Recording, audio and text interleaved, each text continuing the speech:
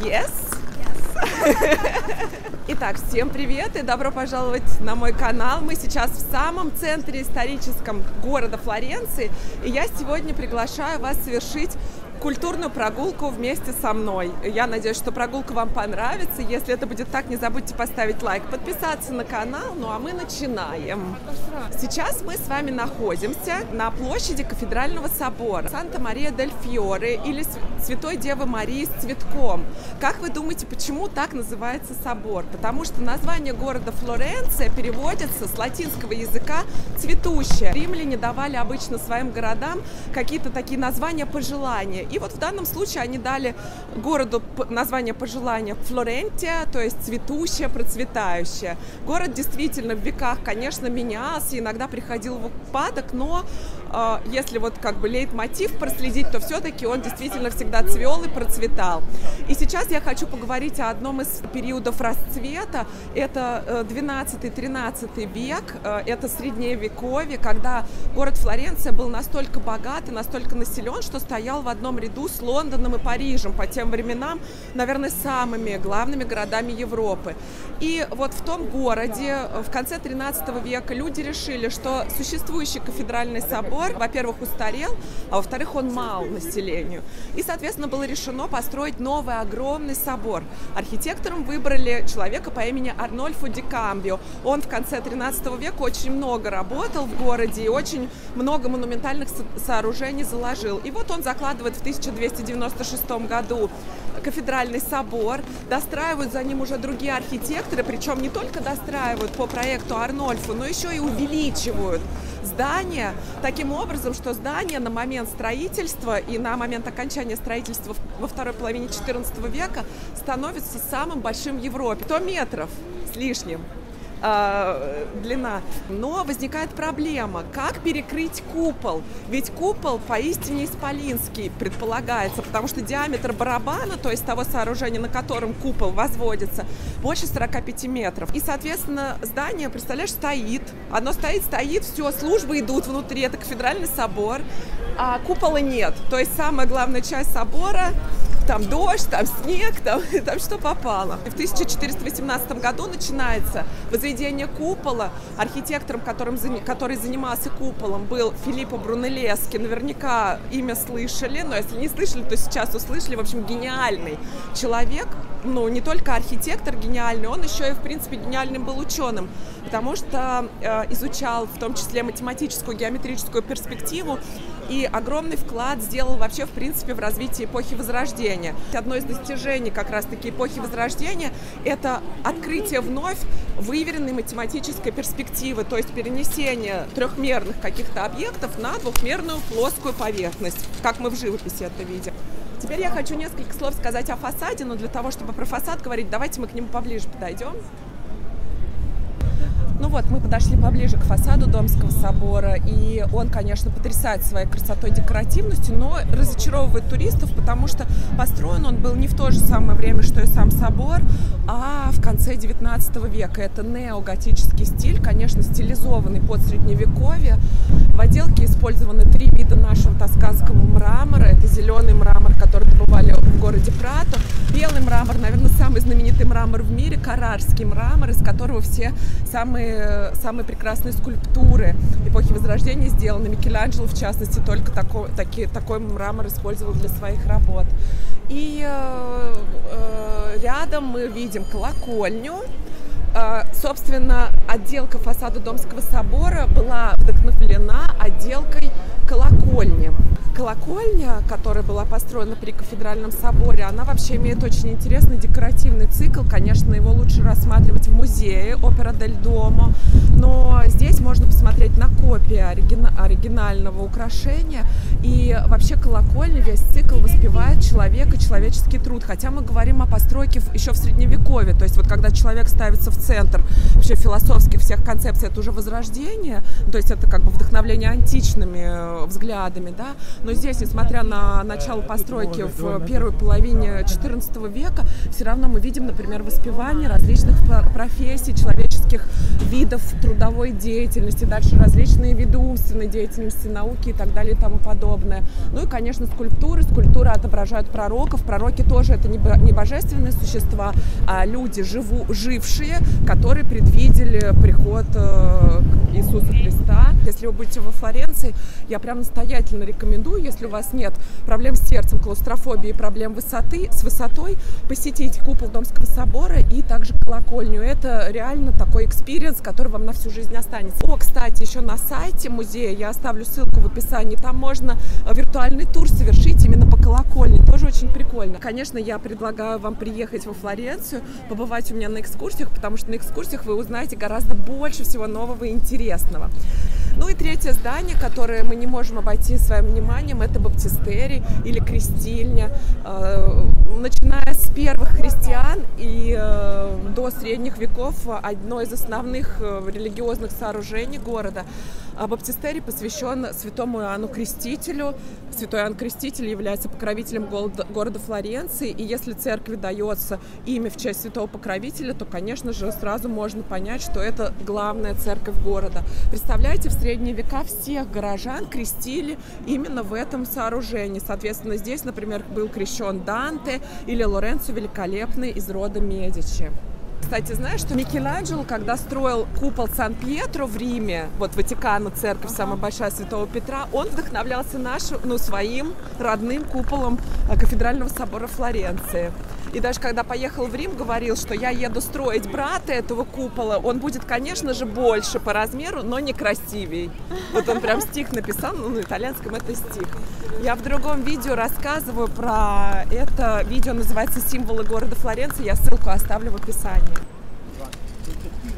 Буквально на несколько минут хочу остановиться у самой, наверное, необычной церкви, которая есть в Европе. А, с необычной историей. Церковь Орсан-Микеле, а, бывший склад зерна и рынок зерна. На первом этаже был рынок, и, соответственно, вы можете увидеть вот эти вот арки. Они раньше были открыты, и там шла торговля зерном. И потом, впоследствии, когда было решено церковь превратить в ну, то есть склад превратить в церковь, поручено было э, гильдиям ремесленников, которые тогда управляли городом и вообще, ну как сказать, составляли экономическую э, жизнь города, украсить фасады скульптурами, которые бы отвечали или отображали род деятельности и святого покровителя. В этом случае мы смотрим с вами на э, статую, которая была установлена здесь по заказу торгового трибунала или торгового суда. И это эпизод библейский, называется он «Фома неверующий». Наверняка знаете все это выражение на самом деле выражение пошло как раз от вот этого библейского эпизода, когда один из последователей Иисуса Христа, Фома, э, не верил, не поверил в то, что Иисус воскрес, и сказал, пока я не увижу его раны не вложу перст в его раны, я не поверю, что это Иисус. И, соответственно, здесь мы вот как раз видим, Иисус демонстрирует рану от копья, и Фома неверующий уже готов ее потрогать. Автором этой скульптуры был Андреа Дель Верокио. Это был художник-скульптор, владелец огромной, очень плодотворной э, э, здесь ботеки или же мастерской флорентийской. И в этой мастерской э, учился Леонардо да Винчи. А знаешь, кстати, почему именно вот этот эпизод был избран как символичный для суда? А, потому что суд должен все все э, слова и все доказательства проверять именно инструментально, то есть трогать, не может на слово верить. И вот как Фома неверующий не поверил на слово, должен все трогать. То есть во всем, вообще во всем искусстве есть всегда смысл. Не бывает такого, что вот просто там нарисован какой-то человек или просто какое-то животное, это все символы. И это очень интересно в этом, ну, начинать потихоньку разбираться. Вот у меня на экскурсиях у людей иногда бывает вообще, знаешь, такие инсайты просто. Это, это классно. И особенно, кстати, в галерее Уфицы часто люди вообще по-другому совершенно начинают на искусство смотреть. А теперь идем на площадь Синьории смотреть на музей под открытым небом.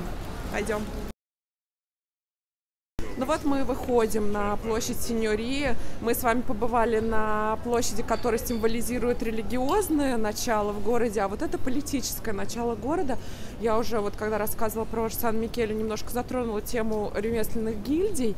А, Флорентийская республика как раз управлялась ими до тех пор, пока в городе не укрепили свое влияние семья по фамилии Медичи. Наверное, вы знаете все слышали, по крайней мере, про сериал, ну или вообще Катерина де Медичи, которая была одной из э, французских королев. Семья Медичи приходит в город, захватывает власть, и э, несмотря на то, что несколько раз ее изгоняют флорентийцы, она все-таки потом, благодаря вот этому товарищу на коне, Козиму Первому, укрепляет свое влияние в городе, и э, Палаццо Веккио, который на этой площади является главным зданием, или же городская ратуша, которая была построена специально для того, чтобы городской городской совет в своих стенах принимать, а, она становится резиденцией правителя единоличного великого герцога Тосканского Козима I. Площадь, на которой мы стоим сейчас, это музей под открытым небом, наверное, один из богатейших музеев вообще, который существует в мире. Как, кстати, весь исторический центр города, который находится под охраной ЮНЕСКО как объект всемирного наследия а, культурного и исторического человечества. Соответственно, э, здесь огромное количество количество скульптур, многие из которых являются оригиналами, не копиями. Но, а я хочу поговорить сейчас с вами о самой знаменитой скульптуре, по сути, и самой фотографируемой копией самой знаменитой скульптуры в мире. Я, конечно же, говорю сейчас о Давиде. Как я уже сказала, речь пойдет у нас о Давиде Микеланджело. Это одна из ранних его работ. Микеланджело, когда он его ваял, было всего 26 лет. И э, несмотря на то, что были некоторые трудности с самим мрамором, из которого был сделан Давид, а в частности мрамор был не очень хорошего качества, и два скульптора предыдущих, которые пытались с этой глыбой работать, они оставили. Затем, но Микеланджело, имея довольно сложный, серьезный и настойчивый характер, он решил, что все-таки он сделает это и своял одну из прекраснейших скульптур вообще, в принципе, в мире. Кстати, Микеланджело всего за три года ваяет Давида. Кстати, сейчас отвечу на самые часто задаваемые вопросы. FAQ. Я не знаю, почему туристам интересно всегда, знаешь, какие вещи. Какого он роста? 5 метров 17 сантиметров вместе с пьедесталом. Сколько весит? Скажи, зачем, зачем человеку знать, сколько весит статуя? Неизвестно. Тем не менее, чуть больше 5 тонн. И третий вопрос, который тоже всех очень сильно волнует, почему он такой голый? Почему Давид такой голый? Давид такой голый, потому что Микеланджело нужно было показать идеальную человеческую красоту. А вообще сама статуя, смысл и посыл, э, так же как и посыл самого мифа, это что не всегда просто грубая сила может победить, что иногда можно победить с помощью ума, с помощью хитрости, с помощью смелости и отваги. Ведь по легенде Давид, который э, был всего лишь пастухом, он э, избавил свой народ от э, гиганта Голиафа, мучившего, третировавшего поселение, а, с помощью как раз-таки мудрости, ну даже не мудрости, а как это, хитрости и ума. Интересный факт, Давид, знаете, где должен был изначально быть установлен? Он должен был быть установлен на Домском соборе, на кафедральном соборе, простите.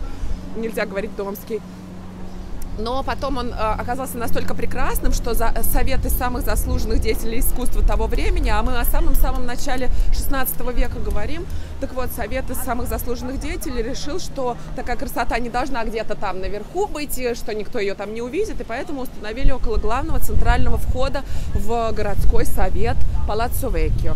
Если вам, кстати, вдруг интересно, какой высоты сам Палаццо Веккио, то я вам отвечу, почти 100 метров, и вы можете посетить башню который строил, кстати, как и весь Палац Веккио, опять же, уже нам известный Арнольфо Ди Кампио, тот же, который кафедральный собор закладывал и начинал строить. А, и начал он строить в 1299 году. Вздумайтесь только, самый конец 13 века. Можно посетить как музей, так и взобраться на башню. Купить нужно будет билетик в кассе. Самое главное-то я забыла сказать, то, что вы нас, э, то, на кого, тот, на кого вы сейчас смотрите, это копия. Оригинал Давида находится в музее, потому что статуя настолько хрупкая, что она не вынесла бы всех погодных условий. Но здесь, на этой площади, есть и оригиналы. Например, бронзовая скульптура Персей э, с телом Медузы Гаргоны автора Бенвенуто Челлини. Я буду на ней останавливаться, но мы обязательно о ней говорим довольно подробно, потому что история создания этой скульптуры очень интересная. Мы говорим о ней на моих экскурсиях. Ну а мы сейчас вышли на площадь Уфицы. И, конечно, здесь следует несколько слов сказать о, самой, о самом здании. Уфици, или же Уфичи, или же офисы, если по-русски. А, здание было построено архитектором Джорджо Вазари. Это один из его шедевров. И построено оно было по заказу Козьму Первого, который, помните, я говорила, въехал в городскую ратушу, когда он стал полноправным правителем единоличным города. И, соответственно, городские магистратуры, которые помогали э, Козьму Первому в управлении города, годом переехали к нему под бачок а, в, в новопостроенное здание, которое, вот, как и я уже сказала, получило название Уфичи офисы, а, впоследствии Уфицы. И э, семья Медичи, как большие любители и покровители искусства, начали в стенах этого здания э, не только размещать различные мастерские художественные, например, мастерская ювелирная или обработки камня, была здесь расположена, но также и первые произведения искусства были также помещены в галерею Уфицы, где э, их могли осматривать. Тогда речь шла в основном о э, древних античных статуях. Их могли осматривать друзья Сельи. Впоследствии галерея стала открытой для публики. Один из самых посещаемых музеев в мире. Э, в Италии самый посещаемый музей. Там в основном картины содержатся, но также и скульптуры. Предлагаю обязательно посетить, когда вы будете во Флоренции. Как я неоднократно уже говорила, это лучше делать э, в обществе гида, потому что так вы сэкономите кучу времени, не будете там ходить э, среди огромнейшего количества картин, увидите самые главные произведения и, конечно, узнаете много всего интересного. Сама площадь украшена скульптурами. Во главе у нас Козима первый взирает свысока на нас. Вообще, кстати, Тоскана и Флоренция огромное количество э, гениальных людей миру дала. Я о них как-нибудь обязательно расскажу в других видео, ну и на экскурсиях тоже частично, естественно, рассказываю. Мы сейчас выходим к реке. Река, которая течет во Флоренции, называется Арно. И эта река давала жизнь городу, э, потому что Помните, мы говорили, что в средние века город разбогател, тут было большое количество ремесленных гильдий. А чем же занимались эти ремесленники? Они занимались в основном производством, производством и торговлей тканями. И, соответственно, для того, чтобы производить и торговать тканями, вода очень нужна не только для обработки ткани, например, для процесса окрашивания, но еще и для того, чтобы перемещать, потому что тогда не было автострад, не было грузовиков, а были морские и э, речные суда, на которых, собственно, ткани перевозили.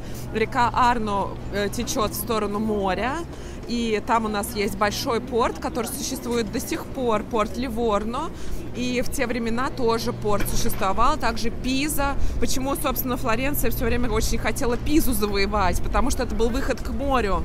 Река протекает через Пизу и выходит в море. И, соответственно, там вот эти вот пизанцы, они раздражали флорентийцев своим присутствием, потому что они периодически воевали, а периодически просто не находили общего языка. И вот, и, соответственно, потом, когда Пиза все-таки вошла в состав тосканского государства, тосканского великого герцогства, то э, дела пошли тоже очень хорошо у Флоренции по части торговли ткани уже, тканями уже беспрепятственного. Э, сейчас река не является судоходной. Почему в городе построили плотины? Потому что в истории города было несколько разрушительнейших наводнений.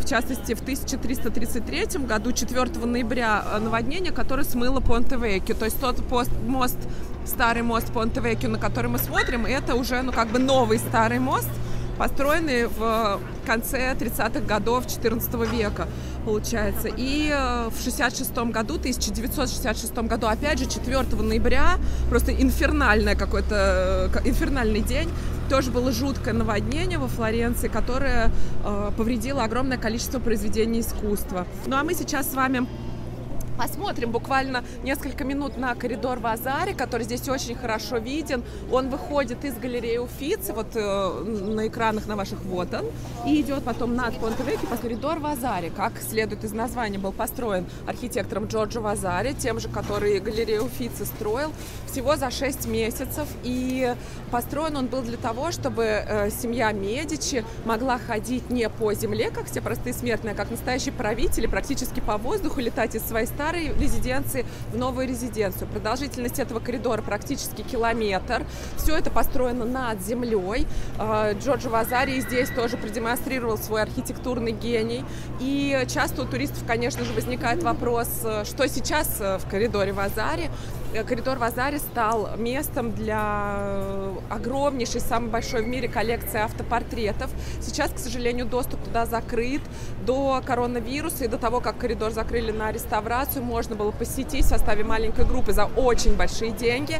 Сейчас коридор закрыт на реставрацию. Обещают, что в конце 2022 года его откроют и уже сделают свободным э, для посещения, но за билет, по-моему, 40 евро будет стоить билет, только чтобы посетить коридор Вазари, но чтобы туда попасть, нужно нужно купить также билет в галерею Уфицы, потому что по-другому туда не попадешь. Соответственно, в общем, это такая будет, э, ну, цена на э, посещение коридора Вазари уже будет фильтром, потому что на самом деле, конечно, когда Вазари строил его, он не предполагал, что по нему будут ходить туристы, а предполагал, что по нему будет ходить э, правящая семья со свитой, то есть небольшое количество людей. Сейчас мы пойдем под коридором Вазари, пройдемся по галерее и выйдем на Понте-Веккио, Старый мост. Пойдемте. Понте-Веккио, Старый мост, кстати, примечателен не только тем, что он является самым старым мостом в городе Флоренция и единствен, единственным пережившим э, гитлеровское влияние в городе и гитлеровское отступление в 1944 году, но еще и, э, но еще и он интересен тем, что когда э, Джорджо Вазари построил коридор в Азаре, Медичи повелели э, испокон веков на мосту обитавших мясников отсюда убрать. Мясников всех выселили на городской рынок, а мост заселили ювелирами, которые с тех пор, это вторая половина 16 века, на мосту имеют свои мастерские. Ну, теперь уже это магазины больше, раньше это были все-таки больше мастерские. И Бенвенуто Челлини, автор Персея, которого мы сегодня, ну, так коснулись прям очень-очень э, нежно, он тоже имел свою мастерскую на мосту, мы сейчас чуть позже увидим и его, и ее. Э, а мост, кстати, здесь еще с римских времен. Вот римский город Флорентия тоже имел один мост, и мост этот был вот на месте Понтевеки. А почему именно здесь? Потому что берега ближе всего в городской части. Берега Арно ближе всего друг к другу подходят именно здесь. Я уже сказала, Понтевеки старый мост не был разрушен. Единственный в момент отступления гитлеровской армии. Остальные все мосты были разрушены. В частности, например, красивейший мост Святой Троицы Санта, Понте Санта-Тринита, который соседний с, с этим мостом. Вот, кстати, Бенвенуто Челлини сейчас на ваших экранах. И смотрит он не зря вот туда вот вправо, это смотрит он на свою мастерскую, потому что Бенвенуто Челлини был прежде всего ювелиром. Так вот, Понте Санта Тринит или мост Святой Троицы, который за ним, сейчас мы вам его покажем обязательно, я надеюсь, спроектирован он был Микеланджело, а построен уже скульптором Бартоломео архитектором Бартоломео Манати и, к сожалению, был взорван немецкими войсками. Тот мост, на который вы сейчас смотрите, это уже постройка 50-х годов 20 века. Мост восстановили по, э, по, по эскизам, по рисункам, по картинам, по сохранившимся фотографиям. К счастью, к счастью, в то время их было уже много. И мост, э, ну, точно-точно такой же, как его проектировал Микеланджело красивейшая линия, приподнятая такая, видите, она не параллельно идет поверхности, она чуть поднимается э, к центру и потом опять чуть-чуть опускается. И я думаю, что мы об этом мосте тоже поговорим в какой-нибудь другой из наших прогулок или здесь на YouTube, или в Инстаграме. Ну вот на этом, пожалуй, все на сегодня. Я надеюсь, что вам было интересно. Я надеюсь, что я для вас немножко приоткрыла завесу тайны того, что происходит на экскурсиях и развенчала миф что прогулка с гидом это очень скучно, занудно. Надеюсь, что вам понравилось и э, что вы подпишетесь на мой канал, лайк обязательно поставите этому видео, приедете обязательно, как только откроют границы, ко мне на экскурсии настоящие, живые, хорошие, с душой сделанные здесь во Флоренции. И все, я желаю вам хорошего утра, дня, вечера, хорошей рабочей недели или же хороших выходных. И пока-пока, бачи-бачи.